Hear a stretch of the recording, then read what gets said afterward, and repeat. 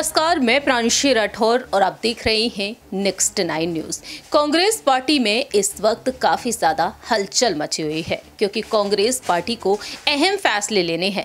राजस्थान के सियासी संकट के साथ साथ मध्य प्रदेश की सियासत पर भी। वहीं दूसरी ही तरफ़ देखा जाए तो कांग्रेस ने जिस तरह से त्रिपुरा, नागालैंड और मेघालय में हार का सामना किया है, इस हार का सामना करने के बाद अब कांग्रेस की रणनीतियाँ कुछ अलग ही होने वाली हैं। जहाँ एक तरफ़ भारत जोड़ो यात्रा के ज़रिए राहुल गांधी ने मज़बूत दावेदारी पेश की। प्रधानमंत्री पद की दावेदारी के लिए विपक्ष अब राहुल गांधी को आगे करने में जुटा हुआ है। लेकिन दूसरी ही तरफ़ कांग्रेस के नए अध्यक्ष मल्लिकार्जुन खड़गे की रणनीतियाँ बेहद अलग नज़र आ रही हैं। मल्लिकार्जुन खड़गे ने साफ़ तौर पर कहा कि हम प्रधानमंत्री पद के लिए उम्मीदवार को आगे नहीं करेंगे।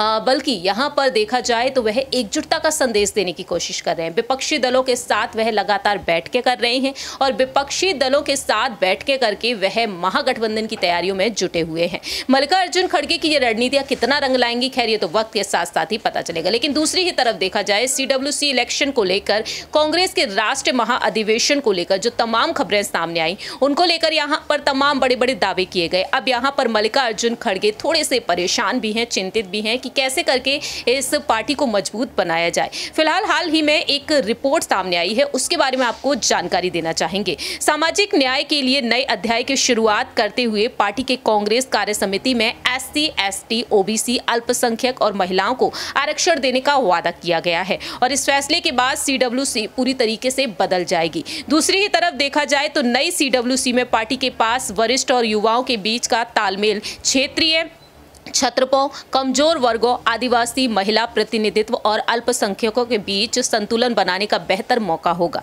दूसरी ही तरफ़ देखा जाए तो यहाँ पर पार्टी के एक वरिष्ठ नेता के मुताबिक सामने आया है कि पार्टी ने संविधान संशोधन कर हर स्तर पर आरक्षण का प्रावधान किया है। इसका पालन किया जाएगा और पार्टी के सामने मुश्किल ये है कि मौजूदा संचालन समिति में अध्यक्ष सहित पचास सदस्य हैं और इनमें से दो सदस्य हैं देवेंद्र यादव, जो पचास साल के हैं, और बी, माणिकम टैगोर, जो सैतालीस साल के हैं। ऐसे में 50 फ़ीसदी हिस्सेदारी 50 वर्ष से कम आयु के नेताओं को देने के लिए कई वरिष्ठ नेताओं को कुर्बानी देनी पड़ेगी। यानी कि यहाँ पर उम्र के आधार पर अब मल्लिकार्जुन खड़गे अहम फैसला लेते हुए नज़र आने वाले हैं। दूसरी ही तरफ़ देखा जाए, मुश्किल ये भी है कि उनके पास दूसरी पंक्ति के अनुभवी नेता कम है। सी में सामाजिक न्याय का पालन करते हुए पचास से कम उम्र के और पचास फ़ीसदी सदस्य तलाशना आसान नहीं होगा।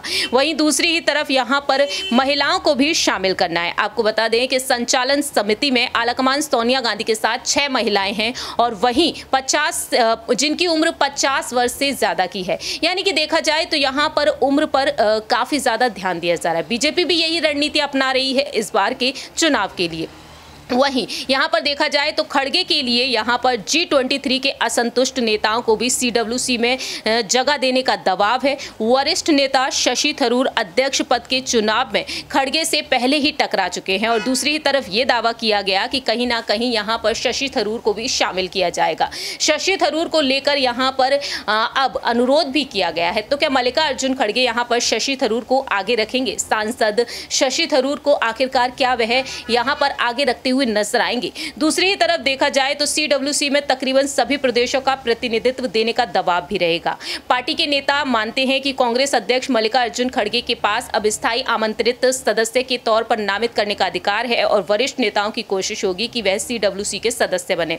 ऐसे में कोशिशें शुरू की जा चुकी हैं। माना यह भी जा रहा है के सी वेणुगोपाल पार्टी महासचिव के तौर पर संगठन का प्रभार संभालते रहेंगे और ज़िम्मेदारी बदलने की उम्मीद काफ़ी ज़्यादा कम बताई जा रही है। तो इस तरह से देखा जाए, मल्लिकार्जुन खड़गे के सामने इस वक्त तमाम बड़ी चुनौतियाँ हैं। सीडब्ल्यूसी के सदस्यों की संख्या 23 से बढ़ाकर 35 कर दी गई है और ऐसे में यहाँ पर युवाओं और महिलाओं को जगह देने की कोशिश की जा रही है। अब यहाँ पर यह देखना दिलचस्प होने वाला है कि मल्लिकार्जुन खड़गे आखिरकार किस तरीके से यहाँ पर अहम फैसला लेंगे, किस तरीके से वह यहाँ पर युवाओं को, महिलाओं को और भी ज़्यादा इसमें शामिल करेंगे, ये देखना काफ़ी ज़्यादा दिलचस्प होगा। फ़िलहाल हमारी इस रिपोर्ट में इतना ही। बाकी की तमाम अपडेट्स के लिए आप देखते रहिए रहिए नेक्स्ट नाइन न्यूज़